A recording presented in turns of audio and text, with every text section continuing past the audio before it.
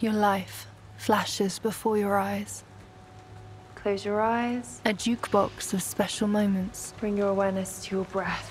Collected together to remind you of all the incredible things Breathe. that life can offer. The good, the bad, and everything in between.